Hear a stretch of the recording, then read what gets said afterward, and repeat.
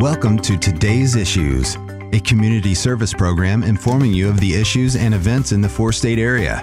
Now, here are the issues for today on KNEO 91.7 FM. Good morning. This is Luke Taylor with a Capitol Report update. State Representative Lane Roberts discusses some bills this week that will cut down on crime across the state.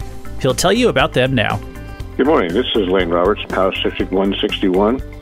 Uh, the House had a fairly busy week last week. Uh, we're hoping some of these bills actually get some action in the Senate, but we're we're doing our job in the House, uh, getting things done.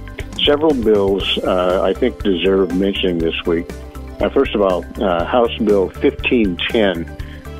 this deals with with the groups of people who go around trying the handles on cars, looking to break into the car, often looking for the garage door opener, which gives them access to the house uh, and it raises that activity to the same level as a burglary, which historically uh, cars have not qualified for that. House Bill 1958, uh, I think, is a long overdue bill. Uh, what that bill requires is that if somebody uh, is responsible for the death of parents as a result of driving under the influence, that that driver who caused that death will be responsible to pay child support for a surviving child until the child is 18 or a variety of other things may occur. Uh, but they will be responsible for maintaining the support of that child if the parent should die as a result of their conduct. House Bill 1692 uh, is, is extremely important. It's called Valentine's Law. It recognizes the death uh, of a police officer.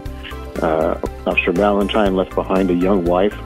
Uh, he was killed by another individual who was, was fleeing from police uh, it, it sounds like you know people should just not pursue, but the fact of the matter is that's just not practical, uh, and it actually causes more uh, people trying to flee uh, than it prevents. This raises uh, fleeing from the police to a felony offense, uh, and hopefully it acts as some deterrent. At the very least, it uses the potential of putting people uh, off the road who would otherwise be a risk to the public and to police officers. House Bill 2062 uh, is a bill that actually grew out of the COVID uh, pandemic. It prohibits uh, local jurisdictions from uh, having eviction moratoriums. As many people know, uh, that whole series of moratoriums is very hard on landlords. It costs some people their investments uh, because they weren't able to collect the rent, and the rent was used to pay their uh, their payments on the mortgage. They can still have a moratorium if it's approved by the state, but local jurisdictions would not be able to implement those things on their own. And finally, House Bill 1659 is the crime bill. This is my bill.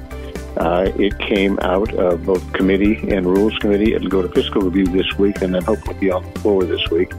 That contains a number of uh, provisions uh, related to criminal law. Uh, it is the same bill that the governor wanted to sign last uh, year, but he vetoed it because there was a couple of amendments put on the Senate that uh, he felt were inappropriate. I tend to agree with him. So we're going to go back to that same bill this year. Most of the provisions are exactly the same with a couple of adjustments. 161st District State Representative Lane Roberts can be reached at his Jefferson City office at 573 751 3791. This has been today's issues. For more information about the issues you've just heard, call 417 451 5636. Today's Issues is presented as a public service of KNEO 91.7 FM, a Sky High radio network.